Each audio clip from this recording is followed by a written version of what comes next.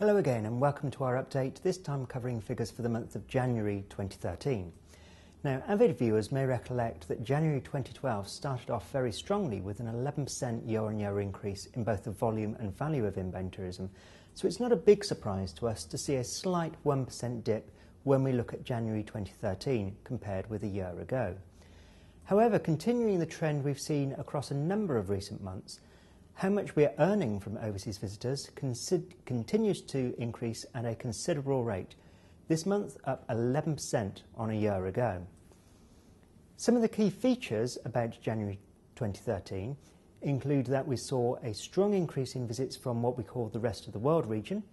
Those are places outside of both Europe and North America. North America also delivered a strong increase, and this is really encouraging because the US is by far our most valuable inbound source market. Now, intriguingly, there was also a 4% increase in how much visitors with what we call a miscellaneous journey purpose spent here in Britain during January.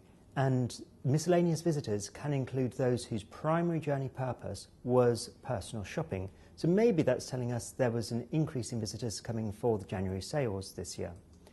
Now let's look at what we call our international tourism balance of payments. This is the difference between how much visitors to Britain spend here and how much British people going abroad spend while they're overseas. What we can see is that we have to look right back to the mid 1980s for when this was last in surplus. The deficit increased rapidly during the 1990s, but we can see that since 2008, when at today's prices the deficit stood at about £24 billion, there has been quite a substantial decrease, such that in 2012 it was around about £14 billion. Now let's take a look at visitors from overseas who travel by Eurostar train to and from Britain. In 2011, we saw 2.4 million visits from overseas, and that's about 7 or 8% of the overall market. Now, these visitors spent more than 11 million nights here in Britain, and that means that on average, each of those visitors was here for just less than five nights. That's telling us that this is very much a short break market because that's rather lower than the eight, night, eight nights when we look across all types of visitor. Spending was just below £1 billion in 2011, and that means that on average we were earning about £400 from each Eurostar visitor. Again, that's somewhat lower than the average, which in 2011 was about £580. However, despite that below average spend per visit, when we analyse how much we're earning per night for those travelling by Eurostar, in fact, it's somewhat above average at £87. Let's look at the top markets for Eurostar visitors. No surprises at the top there. We see France and Belgium are the main source markets.